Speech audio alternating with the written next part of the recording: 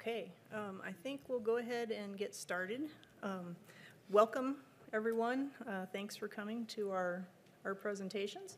And I'm Tracy Tolliver. I'm the Director of Library IT from the University of Illinois at Urbana-Champaign Library. I'm with Ken Klingenstein today from Internet2. Uh, They suggested we combine our proposals for this session, so we're going to do, basically, I'll kind of give my presentation, we'll have a very short question and answer, and then we'll go into Ken's presentation. I think he's hoping to have more of a conversation and solicit feedback from folks. Um, Since joining the library community over four years ago, I've heard a lot of concern with how users are relentlessly tracked across the internet, how it is nearly impossible to provide e-resources to patrons privately, and how it is how it is contrary to the library's Bill of Rights and the ALA Code of Ethics for librarians um, to do this. And so, in fact, last spring, there was uh, the plenary, the opening plenary for this, this exact meeting was all about privacy landscape, policy and practice in the library and university context, panel on university library privacy issues. Uh, so they're very important to the library. This reminds me of an old adage be careful what you wish for. Um, for context today, I'm going to categorize tracking into five buckets. Um, we're going to have third party cookies, IP addresses, browser fingerprinting, link decoration, and bounce tracking. Cookies are little pieces of information that's stored in your web browser um, to help different services provide preferences, possibly ads, uh, help you log in, all sorts of things. These can be first-party cookies, which are accessible only to the domain that created it, or they can be third-party cookies, which are accessible to any site in any domain. IP addresses are often used to identify geographic location or machines and services. Uh, tracking mitigations for browser fingerprinting can impact IP address information, and it's often used to make authorization decisions, particularly in libraries or LMSs, learning management systems on campuses, or ERP systems as well. Browser fingerprinting, uh, you've probably all seen lots of presentations on this before, but just kind of a quick review and give some context. Uh, information collected about the software and hardware of a remote computing device for the purpose of identification. They keep track of all of the information like your browser used or your fonts used or the add-ons installed and the browser security configurations, your IP address and all these things put together, they can uniquely identify you um, across the internet. As well as link decoration. This is that extra bit of information that often gets added to the end of a URL. This could support query strings. Um, for example, if you post a link on your website to get you a particular search result, you know, from your campus search uh, process for your library. It can support some authentication tokens, it also tracking information as well. An example of that is, is below where you've got the, the question mark and the search charge and it gives some information to tell, tell the browser what to do and where to go. Bounce tracking is used by trackers to get around some of those third-party cookie limitations, and it's also known as redirect tracking. Uh, website A may send browser to the tracker to get a first-party cookie. The tracker then sends the browser onto the user's destination with additional information stored, and then that browser will allow the tracker to follow the user around the web. Uh, the end user does not see this transition. Typically, they only see website A and the destination page that they go to. But the good news is privacy is coming. Um, GDPR has really accelerated the adoption and pursuit of privacy amongst services and particularly the web browser community. Um, their GDPR became effective May 25th of 2018, and that's when it really gained some teeth to really incentivize people to pay attention. Uh, since then, we've had the California Consumer Privacy Act that became effective in January 1st of 2020. Uh, we've had the PIPL, or China's Personal Information Protection Law, went into effect November 1st, 2021, which is kind of a whole different take on things. Uh, but it also has some teeth that could potentially reach beyond its boundaries. Um, California Privacy Rights Act uh, amends the first California Consumer Privacy Act and it's effective January 1st of 2023. The Virginia Consumer Data Protect- Protection Act is effective January 1st of 2023, and Colorado Privacy Act, here, here in the state we're in today, is effective July 1st, 2023. And so there's a lot of things becoming effective in 2023. The Connecticut Personal Data Privacy and Online Monitoring Act, as well as the Utah Consumer Privacy Act at the end of the year. Um, Iowa then has a Consumer Data Protection Act that will go into effect January 1st of 2025. Those are the six states that currently have legislation that has been passed and that will become effective. There's a number of other states that are in the process of doing things also. Um, so there's, there's more and more impetus for companies to respond, right? Um, international, let's, all the detail there, but to understand, since the browser is the primary gateway to the web for most people, the browser developers are on the front line making changes.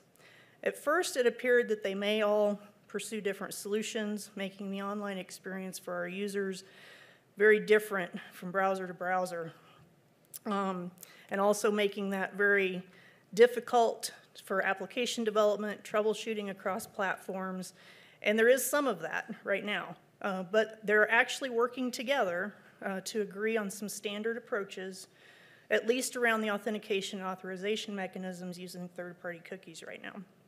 So that's good news. Um, but to understand that, a little bit of architecture. So the browsers uh, are dependent, the behavior you see as a user is dependent on the operating system, the browser engine, as well as the, the actual web browser itself.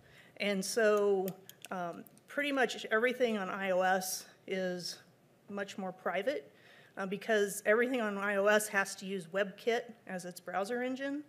And um, so regardless of what browser you're using on an iOS device, it's basically using WebKit. And so any privacy features implemented in WebKit will, event, will kind of flow through that browser to the user. Um, but in most cases, if you're on a Windows machine, um, or Samsung, you know, Android device or something along those lines, uh, it'll use whatever engine is typically paired up with that browser. So Chrome is typically Blink behind the scenes.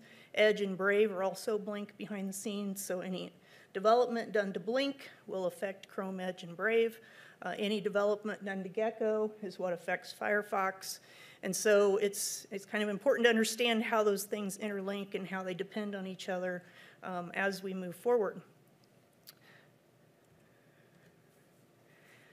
So I was out doing a little bit of investigation uh, to provide more context, and so we're back to the five buckets of tracking. And each of the web browsers, um, the main web browsers is typically used in the US, 50% uh, of the market share is Chrome. So regardless of what device you're on in the US, 50% um, of that use is Chrome. 35% of that is Safari, and 7.5% is Edge, and 3.5% is Firefox as of yesterday. Um, the v, right now, there are a lot of development efforts underway. And so to kind of summarize some of those and what section of those tracking aspects they impact, uh, I put together this table. So right now, IP addresses, you're already seeing those fail. I'm sure your e-resources groups are already seeing IP addresses fail. Um, they may not know why, but they're probably seeing it. And it's because right now, um, iCloud Plus, their private relay, went live fall of 2021. Now, this doesn't affect everyone using Safari. It's people on those subscription services right now, but it's only a matter of time before they roll it out to everybody using that browser. Um, the Microsoft uh, Edge Secure Network, they have some IP um, address prevention, um, but it's still only on their Canary branch. Firefox has their private network extension and it's in beta. And then VPN by Google One just rolled out in March of this year, just a couple of weeks ago. Um, and that again is more of a subscription service right now, but eventually it'll be available to everyone more than likely. Um, so IP addresses are by far at the forefront of being affected, and I know many of our libraries and campus services rely on IP address access, and we're going to have to look at changing that. Um, Cookies are the next area where there's a lot of focus and development right now. And so uh, to summarize that a little bit, third-party cookie, fa- well, we'll get to them last. Safari is usually at the forefront of most of these efforts. Apple is very, very um, cognizant of privacy, so in their intelligent tracking prevention was updated to block third-party cookies in March of 2020. And Firefox is probably next. They're very privacy-oriented. Um, They're block third-party cookies by default in summer of 2019 for known trackers. And the total cookie protection went, rolled out in February of 2021 for all third-party cookies on Firefox. Again, Edge is pretty much going to follow Chrome because they're all on Blink. Um, and so Chrome was going to disable cookies, third-party cookies in 2022, and they realized how many things that was going to break. So they backed off a little bit. Um, at that point, Edge went ahead and said users can disable all third-party cookie tracking in July of 2020, uh, but it's optional. That's a setting that you'd have to actively go in and set yourself. Um, and so they're working towards phasing out, and their target right now is third quarter of 2024 to start phasing out third-party cookies in their browser. So if you think about how many people are using Chrome and they start phasing out third-party cookies, you probably better make sure you don't have anything else that's going to break. Um, authentication folks are working with them. Uh, the advertising folks are working with them. Keep in mind, Apple and Google don't just provide browsers, they provide products and services, particularly advertising services uh, on the Google side. So they, they backed up, said, how can we fix some of these things so that they work for everybody when we phase out the cookies? And that's in process, and I'll get into that a little bit later. Um, browser fingerprinting, there are extensions that exist that will allow you to reduce your browser fingerprinting risk. Um, and then there's also a privacy budget proposal in the works under the Google Chrome area. Uh, Safari put out their privacy overview white paper in November of 2019. Their approach is to design everything from the ground up with privacy in mind. So they delete a lot of information that aids in that browser fingerprinting now in very short time frames. Um, often a day or even hours, they're, they're deleting some of your history and cache and things so that it's less likely that people are able to do that. Um, there's extensions that exist in Edge as well, and there's experimental development under Firefox. Um, bounce tracking, same, there's a proposal for Chrome. Uh, the first party bounce was addressed in June of 2018 by Safari, and the delayed bounce was addressed in March of 2020 by Safari, and they actually have proposed um, standards updates to W3C, W3C in order for that to be implemented across all web uh, architecture. Chrome will likely follow, or Edge will likely follow what Chrome does. And enhanced tracking protection 1.0 was introduced in June of 2019 by Firefox. And enhanced tracking protection uh, 2.0 was, was implemented in August of 2020 by Firefox. So as you can see, there's a lot of activity going on here to address a lot of the privacy concerns that particularly this audience has had in the past and continues to have. Um, but as I mentioned, uh, this is the privacy sandbox timeline. So this is Google's kind of coordination effort of changing the way uh, kind of the web architecture works and replacing those third-party cookies with other APIs in particular that will do certain things so that they can get rid of those third-party cookies. And so I know that's probably a little small to read, but each of those projects are basically have already been trialed. And the last one that they're closing out is the Federated Credential Management API, which is to support the authorization, authentication authorization mechanisms. So their goal is by Q3 of this year, those features will all be rolled out, made generally available to people, and by third quarter of next year, they will start phasing out third-party cookies. Um, they, they have incentive to do that. There's already lawsuits against them in Europe and other places. Um, they will follow through. So it's not a threat, it's, it's there. Um, so in particular, the authentication authorization update hits us. Uh, because we're a little bit different than the consumer web, which is really driving a lot of the changes that they're making. Um, academic environments, the research and education environments, we have built up these large trust environments uh, using our federations like InCommon and EduGain, and we use SAML standards to do a lot of that exchange and then facilitate that, that authentication authorization process. And so we were getting really concerned that they were moving forward without us, which they have no incentive to listen to us um, because we're pretty small fish in the whole scheme of things for most of these companies. And so we have been successful in getting their attention. Um, there was a hackathon February 28th and March 1st in Mountain View with about 15 people um, representing, you know, Apple and Microsoft and um, Firefox as well as our uh, federations and the Shibboleth community and um, Seamless Access. And I forgot to mention, I'm also a member of Seamless Access Outreach Committee, so I'm kind of sporting two hats today. Um, and so there were two proposals born out of that. So the results of that were that we better understand their FedCM API, and they now hopefully better understand our use case in higher ed. Um, and so during that workshop, they kind of got together. We're going to get farther with them if we can make proposals and provide possible solutions than we are any other way. So it's very important that we continue to engage with these groups, that we continue to be interactive, and that we look at everything and try to provide proposals. Um, so there, there are two proposals right now that's kind of being iterated through to see what parts of that they solve and what parts they don't. There are still some outstanding areas of concern that's being quantified and worked right now. There's a follow-up session with that group um, at the Internet Identity Workshop at the end of April. And so we're hoping to continue that really strong, close engagement for the next several months to hopefully get our use cases handled. Um, but that's, that's the attempt, and, and it's being coordinated by several key people. Heather Flanagan, who actually, um, I reused some of her content for the earlier part of the presentation. She's been out trying to drum up interest and, and get people to participate. Um, so that's where that's at. Um, the additional privacy sandbox efforts are related to some of the other functions. So there's things like the bounce tracking, uh, privacy budget, the IP protection, and different things along those areas.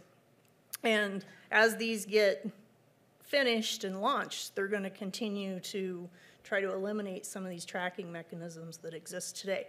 I think what you'll see, uh, the table I had up earlier, is you know they're addressing IP addresses, they're addressing third-party cookies.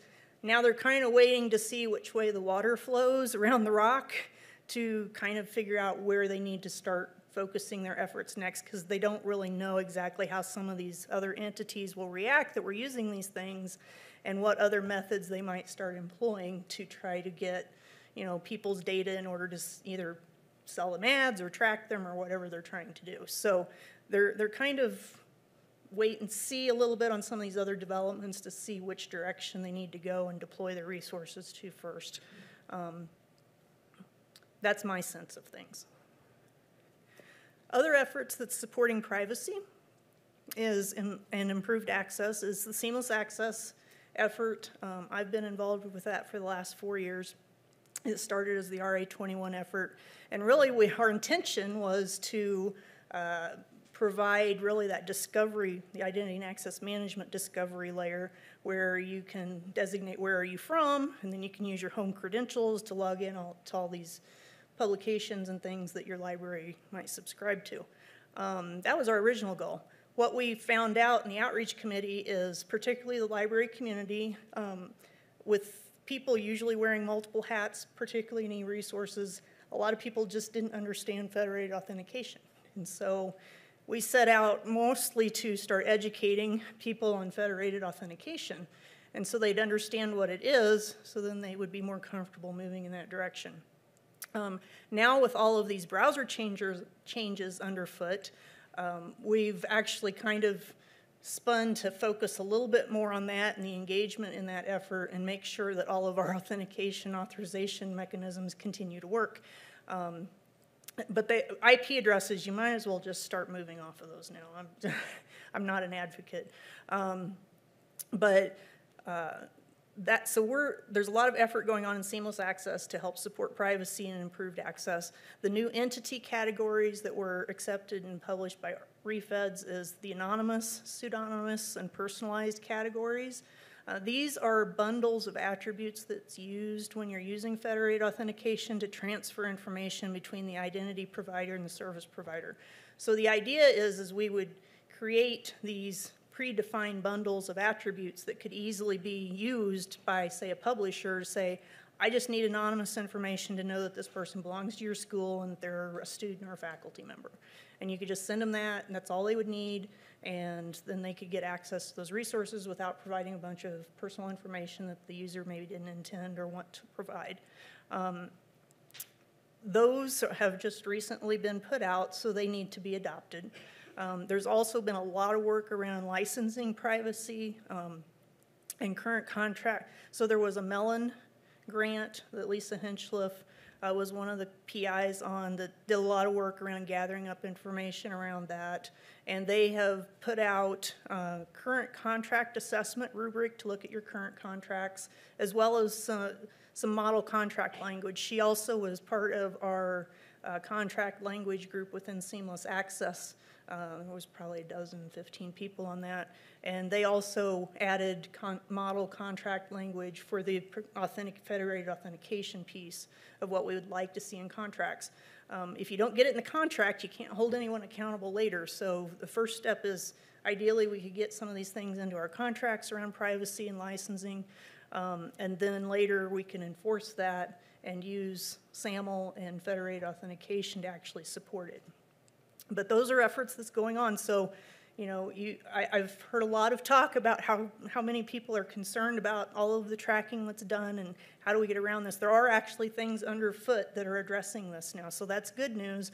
But it, it's probably going to be a little bit of a bumpy ride for everybody to get aligned with those changes. So, um, if you're interested and want to know how you can get involved, there's the Seamless Access Learning Center. We have several videos up to just kind of explain federated authentication. We're keeping FAQs up there for both publishers and librarians so they can help troubleshoot e-resources, and we're, we're posting about these browser updates. We're blogging about those. So the Seamless Access page, if you don't want to get really technical, is probably a good place just to hit to get a high-level update. Um, If you're more interested, there are three different W3C groups that, community groups that you might be, want to follow or, or get involved with. The Privacy Community Group, the Federated Identity Community Group, and the Private Advertising Tech Community Group. That one isn't directly related to us, but it's interesting to watch what they're doing because it may impact us later.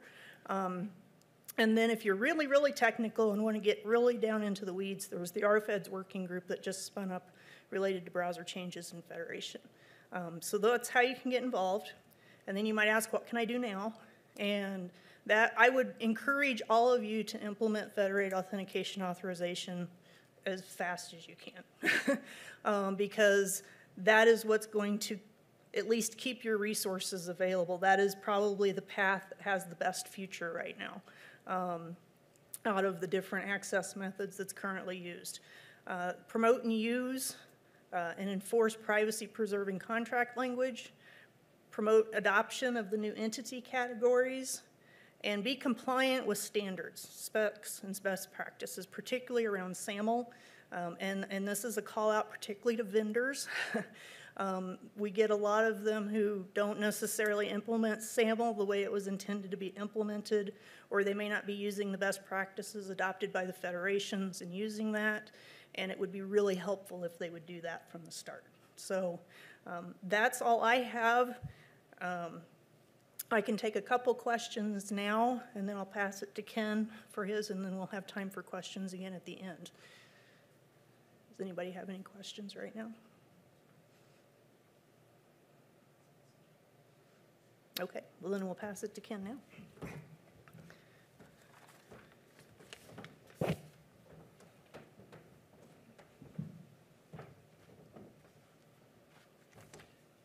Thank you, Tracy. Um, I guess I want to begin begin by confessing some sins. Um, and uh, so um, I go way back. I'm older than dirt, um, as the expression goes. And uh, I'm actually in the Internet Hall of Fame, which no one knows about. and um, We just saw it. We just were looking at it. oh, really? Yes, in 2021. Yes. And I, I- don't know, Charles, if it's for the damage I've done or, or the good work that it, it is for the damage. So let me confess some of the damage.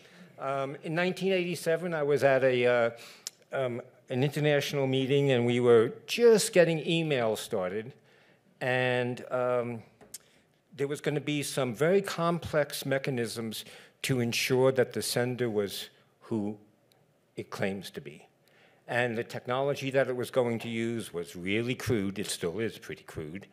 And so at an international meeting, I stood up and said, Look, I'm trying to roll this sucker out. It's really hard. Um, don't make it any harder. Besides, who would ever send mail to someone they didn't know? and that carried the day, unfortunately. Um, I did damage later on um, when I took the eyes of a few people off the real prize. So when Google came onto the scene, um, I thought the damage that Google was going to cause was that they were going to steal all of your eyeballs. They were going to steal our accounts. They were going to steal our authentication. Um, they were going to repurpose things to um, meet their own sales and, and marketing needs. What I didn't realize, and some colleagues also didn't realize, is that the damage was going to be twofold. One is a move away from multilateralism to bilateralism.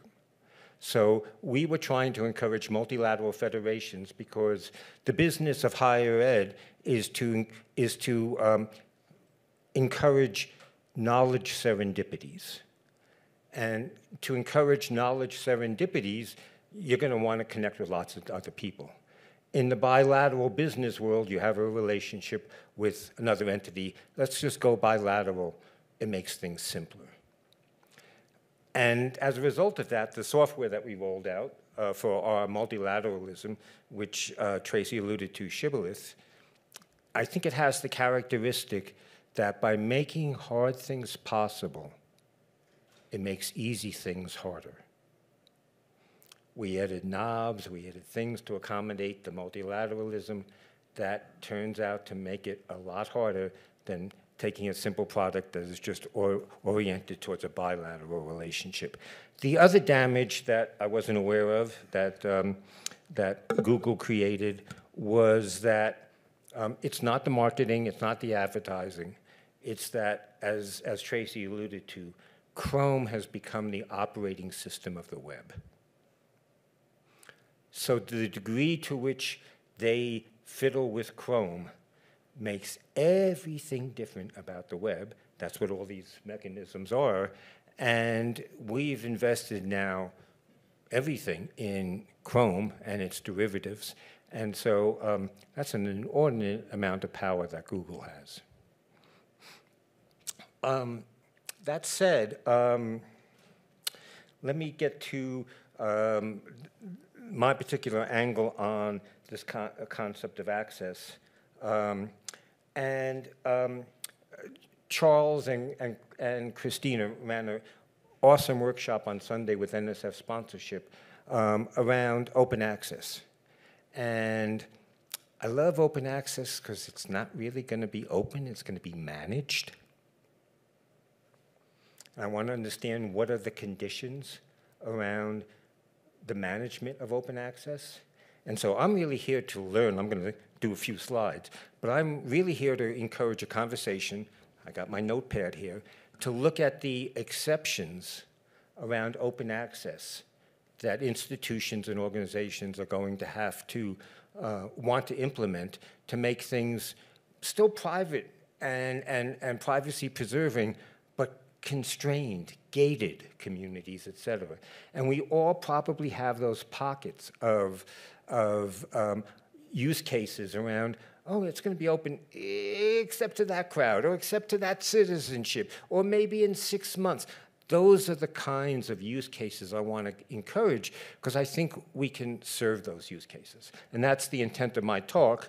And hopefully, I'll shut up in a minute and um, you'll tell me all of the great use cases that you have in your special collections, in your PII-based data sets, et cetera, that are going to require gating. Um, one of the other concepts that came out of uh, the workshop that I wasn't aware of is um, we all know FAIR. There's something called CARE, which is around cultural sensitivities. And um, indigenous populations in particular want to have requirements and rules around the access to their artifacts and data. I think that's going to be a rich space to get those exceptions to the rules. I don't know what they are now. You might, I'm seeing heads nod. I'll take notes in a minute. Um, one of the um, other things, just as an overarching comment, since um, um, Tracy invited you to get to the table, come to the table. I've been on REFEDS steering committees since God, 1700, it feels like. I've been on InCommon steering committees. I've been around a lot. We don't have you folks at the table. We have the big scientists. We have the, you know, the, the, the big dogs of um, um, some data. We don't have the rest of the community that we want to serve. If he got to the table, we would change what we do. So please come to the table. That said, uh, I want to talk a little bit about the history of federated identity and access control. I want to have the discussion.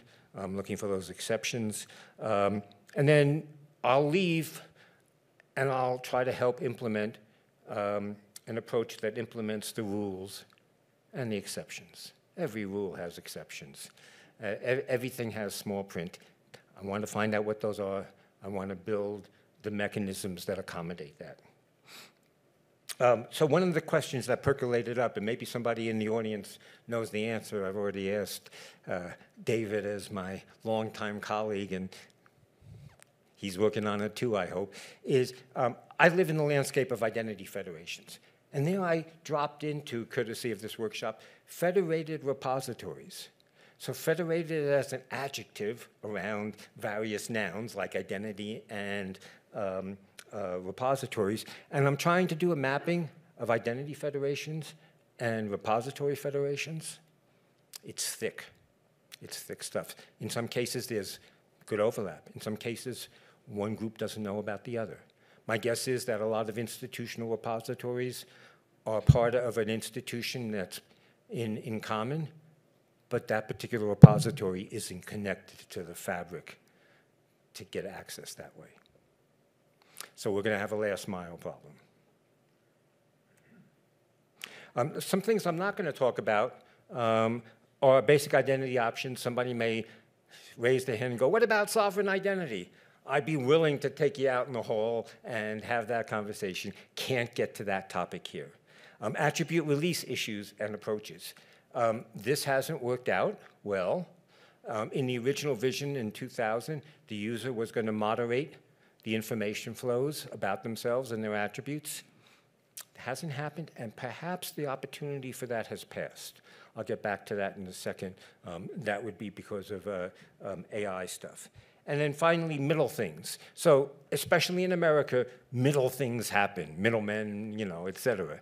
Middle things turn out to break the model of identity providers and relying parties. There's now a broker in between is that broker faithful? Uh, what are the rules around operating that? So all of the portals out there, all of the proxies represent something that wasn't in the original model and um, won't be in this, in this conversation either.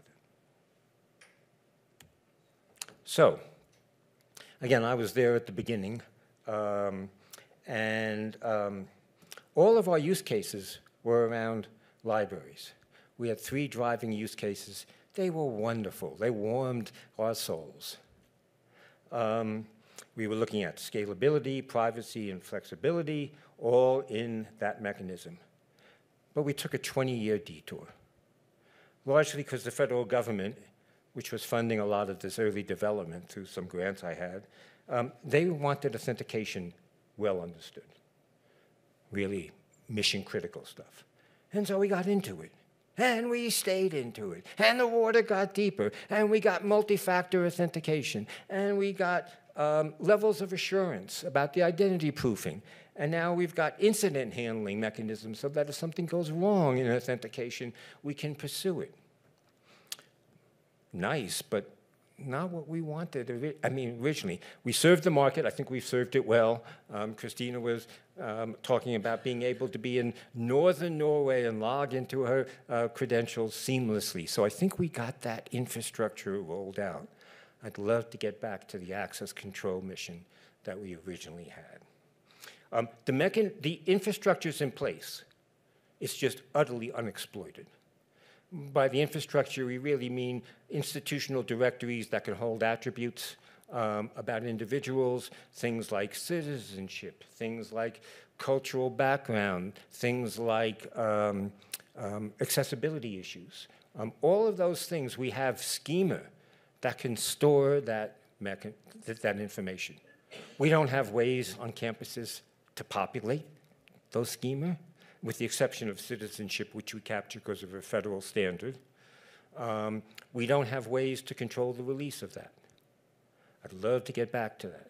I'd love to be able to combine accessibility with privacy. And we never talk about those two things in the same sentence. But wouldn't it be nice if I could go to a website and say, you know, I'm colorblind. I'd love to be able to see the screen in a way that I can read it.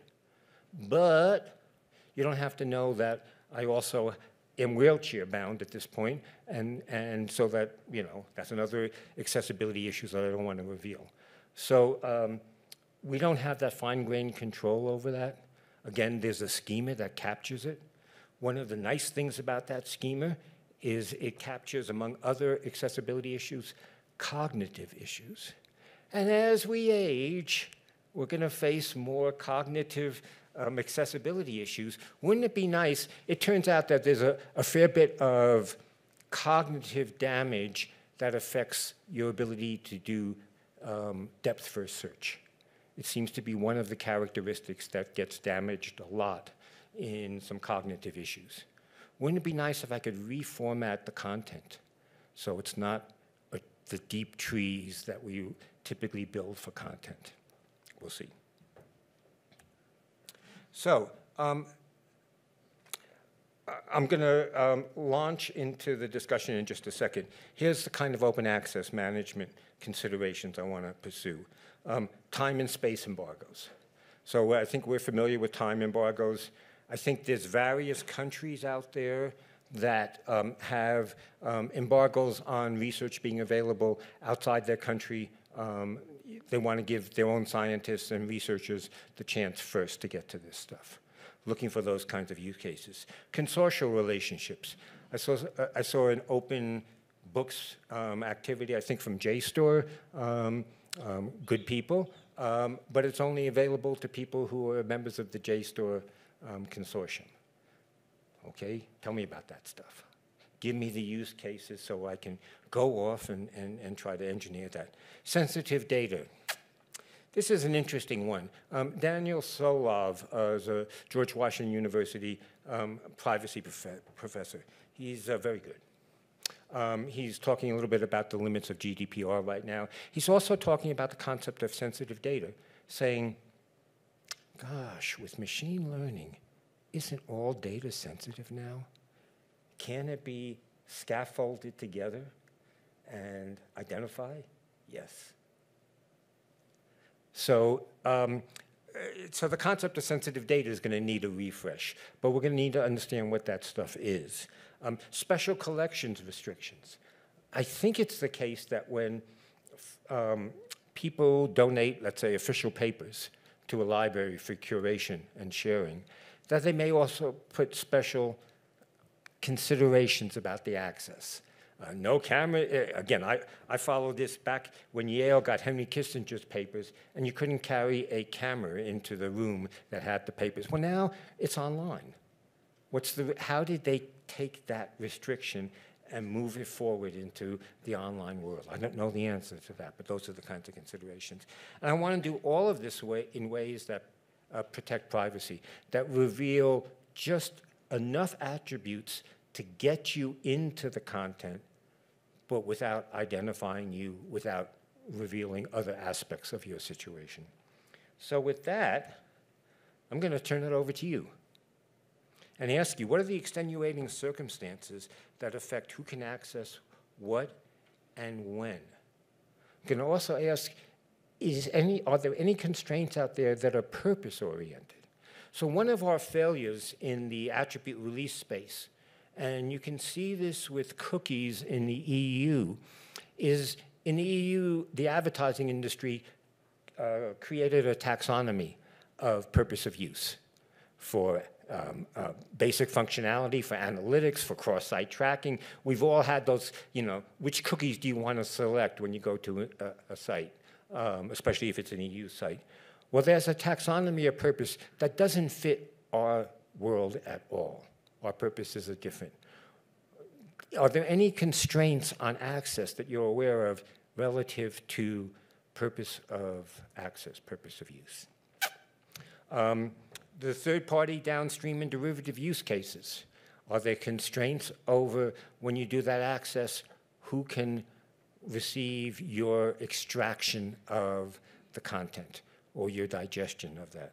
And how are these issues addressed today? So I'm going to be quiet for a second and invite someone who has a Jones about this to um, suggest, yeah, you know, now that you mentioned it, um, there's PII data, and in fact, I rummaged through the NIH databases.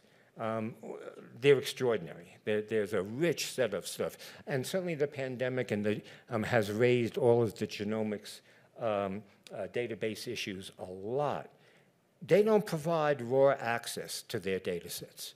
They provide moderated access where um, you specify your search criteria, they'll return results unless the size of the result bundle, it's called a bin technically, is too small. So if you say, I want genomic characteristics in this particular county because I want to be able to track how disease progressed, well, if there's less than 10 people in that county, you're not going to get any results.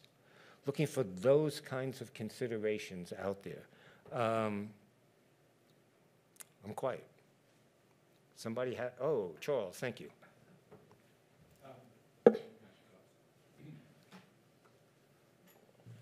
So yeah, I'm Charles Watkinson. I'm from University of Michigan.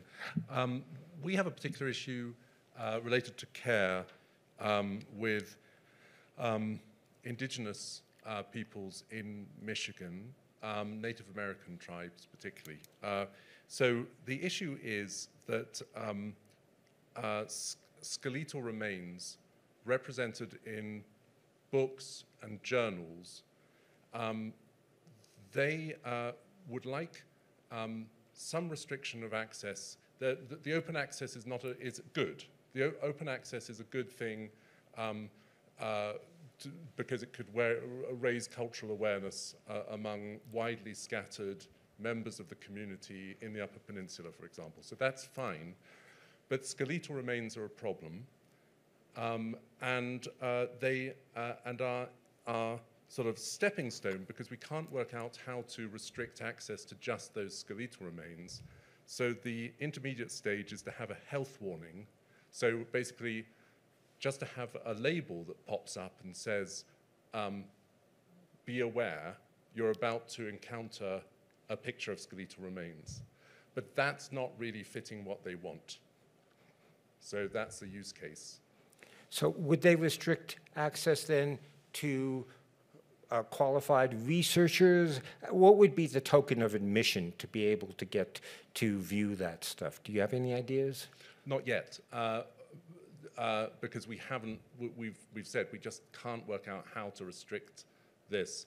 Um, this has also come up. This is coming up more and more in archaeological associations. So the Southeastern Archeolog- Archaeological Association has just put a policy in place that they will not show mortuary remains in their journal, which is published by Taylor and Francis. Um, but a number of biological anthropologists have pushed back and they've said that makes it impossible for us to do our work. So they've reached a compromise that uh, those mortuary remains can be put in the supplemental data. So the pictures can be put in the supplemental data, uh, and then that supplemental data will require that there's an email received to access it. Um, so uh, if that suggests that there would be some group who would be potentially allowable based on their Right. specialist expertise, but there needs to be some filter, some discussion before the access is granted.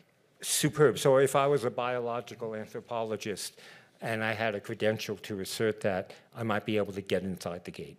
And potentially if you also had permission from the NAGPRA representative, so the North American Graves Repatriation Act. So there is an individual on every campus where this is happening who would be able to give, uh, to do the sign off.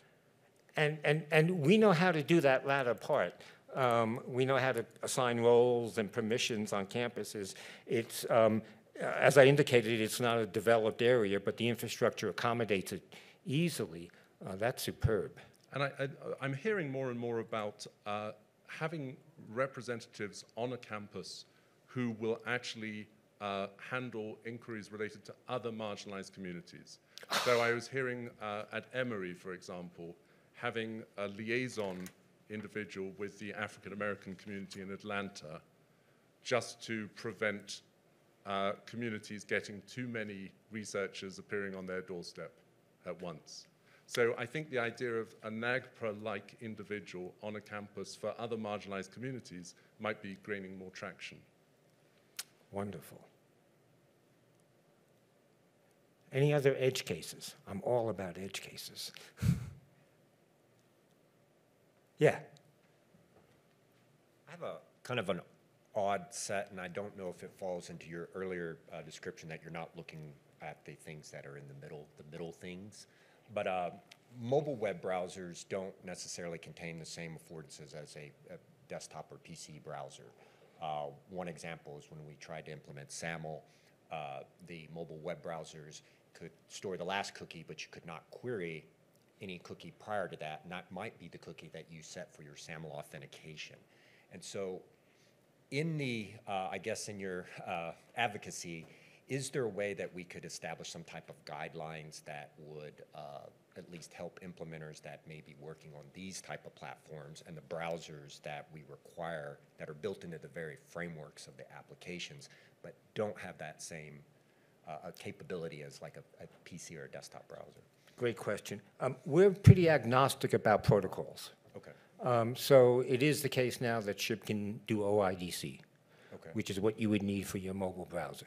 Okay. So um, I don't think that's going to be problematic um, going forward. The WebKit that uh, Tracy talked about um, um, is also another mechanism where we've been able to implement OIDC and other uh, uh, and that protocol. So I think it's viable. Okay. Um, But again, we, we want to understand what attributes you might need, and then where would those attributes flow from? So th- the analogy here is um, um, verifiable credentials, badges, et cetera, micro-credentials, big buzzy thing, right? And everybody's working on what's the format of that credential? How can we make it self-verifying? Nobody's really looking at the issue of who can issue that in the institution. So if we want to give you a cap, say you're capable of pipetting um, as a micro credential, you're going to need a um, um, a credential that says you're authorized by the institution to issue that kind of assertion. You more will also probably need something from the domain that says you're a trained pipetter courtesy of the Pipetting Institute of America or Nursing Institute or whatever. So that side of the picture has not been fleshed out as we've all spent ooh ooh time about what should be inside the credential, not how to issue it. Okay. And one kind of follow-on question is, one of the uh, things that we struggled with was on the flow of the redirects for the SAML-based authentication. Uh, Where does it stop? So we've seen things like multi-factor authentication get layered on top of it. And so at what point does the, the browser know that the redirect, redirects are done? So that you can, because it has to kind of make an arbitrary uh, choice, and like, okay, I'll wait for, I'll count to two or three redirects till I can get back to the resource where I started. Is there a way that we could type, uh, maybe enumerate that or let the, the uh, client know in that authentication flow, when does the redirect stop? Um, So we can implement it and it. I, I hear you. Um, It turns out that um, the challenges there are not in the technology, but in the process for standardization. I have a T-shirt that says, "Privacy was easy before continental drift." And in fact, um, what you just described is something where both the MFA standards and other kinds of related standards, what we've done in the US typically is more advanced because we had the federal government driving a lot of this stuff. And there are, uh, the rest of the world um, has, has, doesn't have that urgency. So it's a question of finding issues that have a shared urgency. Okay. And um, so I can carry your issue forward, um, but at this point, we've been so successful that unless we can do it globally, we're screwed. Okay, thank you. Fair, fair answer. Yeah, wonderful, thank you. Make it, make it gnarly. Okay, I'll try. Thanks, Ken. Uh, Alicia Salas, University of Oregon. So, um, so I've got a case. So we've got special collections, um, quite a few. That the extenuating circumstance around who can use those is that they're um, whether they're print or digital, um, we don't hold the copyright for those. So um, an example would be that we have um, we hold all of the personal papers and correspondence and archives of Ken Kesey, the author. Um, and uh, the people who can access those materials um, at the moment are people who can physically travel to our location to work with materials because um, the family, the descendants of Ken Kesey, um, still hold the copyright and will for many years until, you know, probably as long as they can. Um, and they don't want us to digitize it and put it, put it online openly. So we would love to make those materials more widely available to users at a at a geographical distance, um, authenticated researchers, users for non-commercial educational research use. We would love to make those materials available as well for computational inquiry for researchers um, through digitization. Um, but those are things that we struggle to, we don't have the authentication or the infrastructure um, to be able to do that currently. It's sort of like it's either just physically in our site or it's completely open, which is not an option. So that's the, That's Um, great. that's That's the road, yeah. gnarly. Thank you. okay, is that gnarly enough? That's gnarly, yes, indeed. I think we have time for one or two more difficult, difficult uh, collections, or, yeah, go ahead, please. Uh, Yeah, Uh, This is probably a superset of what uh, Richard? Jo- Gerald, I'm sorry, um, offered, but are you familiar with local contexts, Ken? from wh- what? Localcontexts.org.